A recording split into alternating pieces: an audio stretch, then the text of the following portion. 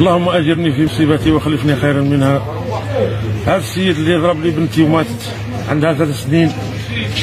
غير واحد أنا ماني طالب حتى حيه غير واحد طفي جا مرتك ثاني أنت الطفله ماتت الله يرحمها درك راها عند ربي. خيبان ورانا مسامحين في الدنيا وآخرة. هذا واش نقول لك أخوي؟ السلام عليكم. لن تصدق ما فعله صاحب سيارة رباعية الدفع لشقيقته الصغيرة بدون أن يعلم وصدمة كبيرة بعد اكتشاف الحقيقة وهذه التفاصيل الكاملة. تابع الفيديو للأخير. في فاجعة تدمي القلوب وتبكي العيون. تم فك لغز وفاة الفتاة أسينات ذات ثلاث سنوات مؤخرا بالأبيض سيد الشيخ بولاية البيض.